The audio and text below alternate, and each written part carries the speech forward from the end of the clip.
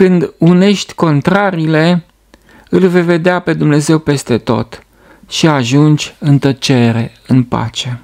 Aceasta se numește autoreflexivitate. Și dispar gândurile. Degeaba căutăm pacea oriunde. O găsim numai când unim opusele. Pacea și iubirea nu se obțin decât atunci când nu mai vedem niciun rău și niciun vinovat niciunde. Când nu mai vrei nimic de la viață, atunci îl vrei pe Dumnezeu. Când nu vrei să reușești sau să ți se împlinească dorințele, atunci vei reuși întotdeauna. Când nu-ți vrei binele, atunci vei fi cel mai fericit, pentru că Dumnezeu este cu tine. Când vrei tot binele pentru celălalt și nimic pentru tine, atunci îl vrei pe Dumnezeu. Și când El este prezent cu tine, El va face totul ca tu să fii fericit.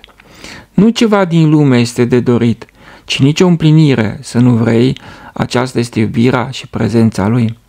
Ce nu-ți place, ce nu vrei, este divinul. Cine îl vrea pe Dumnezeu? Numai cel care nu-și vrea binele. Când te lași pe tine dus, purtat și condus, atunci devii iubirea Lui. Noi considerăm omorul un păcat și pe cel care ne omoară un virtuos, adică l-am făcut idol. Și ce facem cu cel care omoară? Îl judecăm, îl condamnăm, îi spunem că ajunge în lumea lui Ilie, deci el se lasă omorât ca să-l înalțe pe așa zisul criminal. Deci criminalul are o etichetă pe minus și unul și altul a atras acțiunea prin idolatrie, prin neacceptare. Dacă o femeie își omoară bărbatul cu orgoliul ei, ea este vinovată? Dacă bărbatul respectiv avea suficientă bărbăție, mai ajungea să fie omorât? Sau poate s-a lăsat omorât ca să-și ajute femeia? Aceasta, rămânând singură, se va confrunta cu tot felul de situații care o vor umili sau îi vor crește orgoliu, atât de tare încât va muri și ea datorită unei boli sau unui accident. Dacă absolutizăm neomorul, ajungem să omorâm da binela și e bine oricum. Dumnezeu este și cel omorât și cel care omoară ca să nu mai vedem niciun rău și niciun vinovat niciunde. Indiferent că femeia ajunge în iad pentru omorul săvârșit, indiferent că nu ajunge, este voia al Dumnezeu. Vedem iadul ca fiind ceva rău, îl respingem și riscăm să ne trezim în el pentru că absolutizăm raiul. Există ceva mai bun decât altceva? Nu, niciodată. Bărbatul care a fost omorât a avut lecțiile lui proprii pe care le-a învățat sau nu? Poate că din prea multă iubire pentru femeia lui s-a lăsat umilit și călcat în picioare de femeia aceea. Poate că era în feminin și nu putea să lupte, să fugă, să scape și atunci nu merita să trăiască, pentru că nu putea să perpetueze specia. Poate că absolutiza viața, absolutiza virtuți și dealuri și respingea răul din față. Motive sunt multe pentru a explica moartea lui, la fel cum motive sunt multe pentru a explica ceea ce a făcut femeia din orgoliu propriu.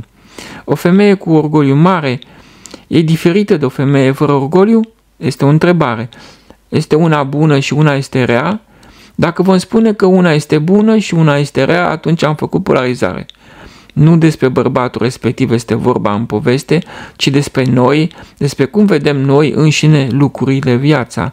Ce analiză facem, ce acceptăm și ce respingem, despre asta este vorba. Noi îi punem pe oameni să își ia roluri diferite, funcție de ceea ce respingem, sau ne ducem noi înșine în rolul pe care îl respingem. Ca și femeie, dacă voi absolutiza neomorârea bărbatului, exact asta vor trăi și e bine oricum că tot ajung la Dumnezeu prin suferință. Deci tot ceea ce face Dumnezeu, că omoară sau se lasă omorât, e treaba lui. Acceptăm și argumentăm și așa ieșim din matrix. Și în Vechiul Testament, Faraon și Moise au fost unul și același Dumnezeu cu roluri diferite. Din perspectiva avocatului, nimeni nu este condamnat. Nu este decondamnat. Numai cel care te chinuiește, numai acela te iubește.